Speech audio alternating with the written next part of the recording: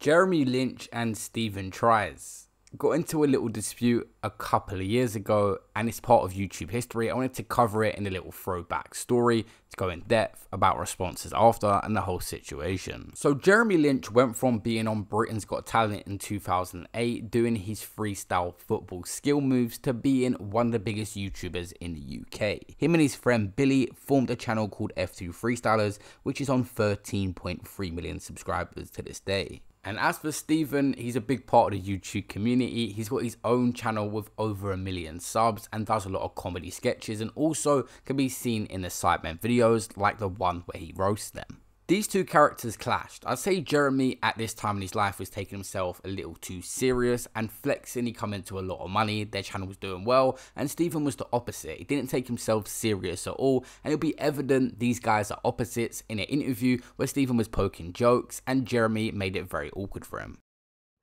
And what is the Hungry Professor? Oh, just, just nutting everywhere. oh, it's the Nutty Professor.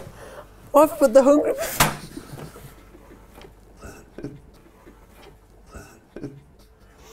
It's really tight to end this shoot. Oh. So this was um, Is this all? Po- is this postable? Stephen would then make a diss track at the F2 freestylers. It wasn't just because of this video and awkward situation, it was the way they said Jeremy behaved, bragging about a Lamborghini and talking certain ways and was seeming stuck up to other YouTubers that would come around him. Stuff like when he was at Arsenal, he said that the people at the club said he was the best there on the ball, even though there were some legendary players. They said, on the ball, you're the best at the whole club, including the first team. I was only 15 at the time. The best. His whole football channel is based around football. It's all he does is play football, and there would be these Wembley Cup tournaments he was involved in, and he was just overly competitive when he was a footballer, and the rest were just YouTubers. I saw your watch. It was 30 minutes. 100 million percent. 100 million percent. It was 13 minutes. 13 minutes when he watched. Stop It's still kicking off here. They've gone straight to the He ref. saw that. He also put an aggressive challenge to Stephen in a match. And rather than doing it himself, out on his cups, he'll be in the background while his friend directly goes at Stephen as a crowd of people film and gather around them. Before True Geordie steps in and breaks up the situation. I, I don't want to call out someone who's barely touching 70,000 subscribers, man. There's levels to this game. 70, 70,000 subscribers, bro. If you hit, when you get that, You're, mate, you're so, but me, you've got okay? no talent, bro. Oh. Where's your future going? Mate, if you do a Where's tweet your future and going? you get 100 likes, Where, maybe fuck I'll your reply tweet, to man. Fuck your tweet and your shit. is- Bruv, you're dead. You're dead, bruv. Relax, man. Don't touch me. Don't touch me. Don't, don't touch me. Of course, I'm gonna get personal. Don't touch me, bruv. Is everything alright? Is everything alright? I think you need to fucking calm the fuck. That was Jeremy and Hacks that confronted Stephen, the YouTuber, about the situation. They got a lot of negative backlash for it. True Geordie also stepped in after at the end and broke it up, and he spoke about it with them on his podcast. It was, it was Jeremy's mate who come across as the biggest bell end in that video. But even with Yeah. Jeremy, I think there's a moment. We all accept that the kid's talented and he's got a lot of things to. to Yeah, absolutely. He- Yeah. he's Right. relatively Very quite- he's- successful, Would you very say he's successful. caught? I because I look at Jeremy and I've spoken to a lot of people and I go, mate, I I like.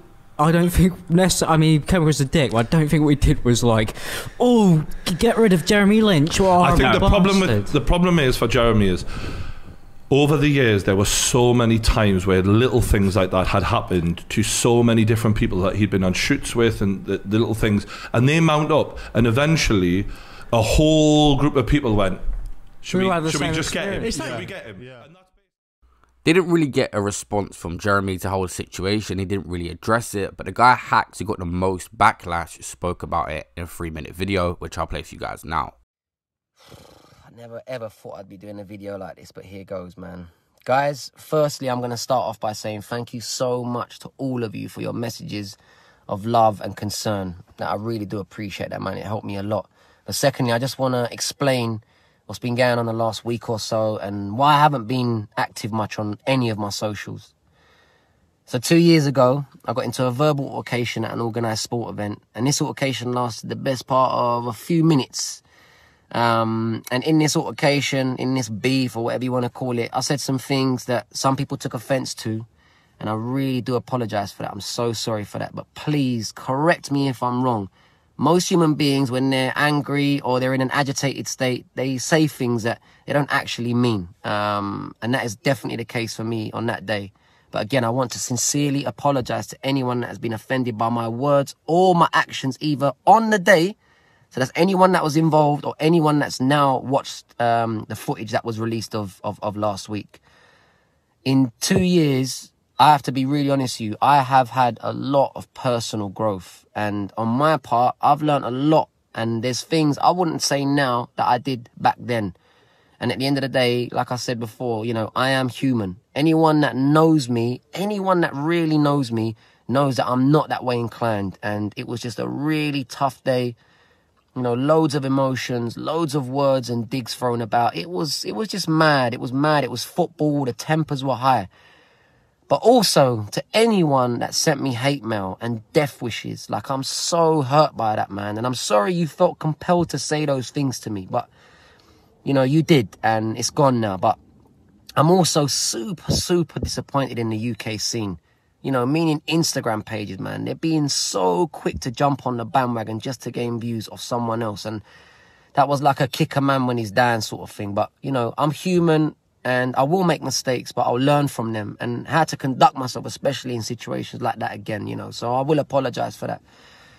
But I'll end it on this. Um, we defo, defo need to change the mentality of the youth today, man. We are influencers, so let's influence, you know, the kids, influence the kids the right way and not make them trolls. You know, perfectionism doesn't exist. It doesn't exist. So let's not make the kids think that. Do you know what I mean? Let's let them know that things will go wrong and how to deal with them.